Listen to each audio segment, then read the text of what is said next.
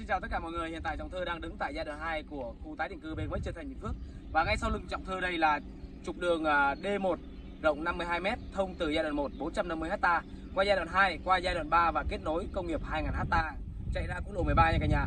Vị trí này thì à, đây là đường D1 và cũng là cổng chính của khu nghiệp. Chạy thẳng qua quốc lộ 14 bên kia là giai đoạn 1 450ha.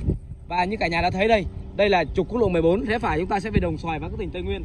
Rẽ trái chúng ta sẽ là lại à, ngã tư Trơn Thành, trung tâm thương mại Trơn Thành và về Bầu Bàng Bình Dương nha cả nhà. Hiện tại giá đất tại mặt tiền quốc lộ 14 là 1 tỷ 2 cho đến 1 tỷ 4 trên một mét ngang. Và chỉ cần chúng ta quay vào cái vị trí mà Trọng Thơ đang đứng đây. À, cách quốc lộ 14 chỉ có 200 mét mà giá hiện tại chỉ có 8 triệu trên một mét vuông nha cả nhà. Quanh khu vực này thì như cả nhà đã thấy đây, trục đường D3 đang đổ sỏi và lên nhựa thấp trong thời gian sắp tới. Khi đang từ đường sỏi mà lên đường nhựa thì giá sẽ tăng nha cả nhà.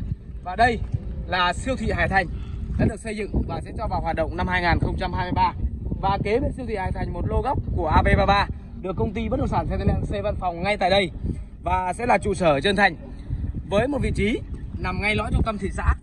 Và giá hiện tại chỉ có hơn 8 triệu trên một mét vuông.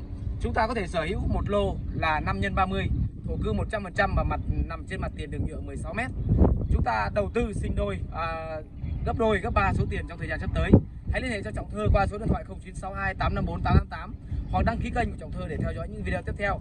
Trọng Thơ xin chào và hẹn gặp lại ở những video sau nhé.